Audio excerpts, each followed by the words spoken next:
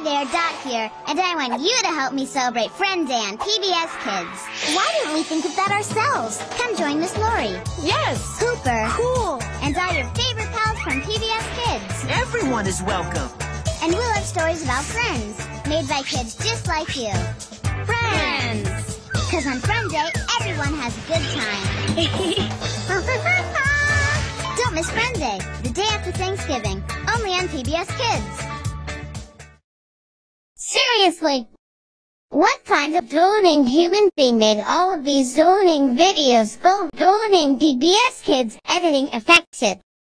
I have droning hated all the droning time.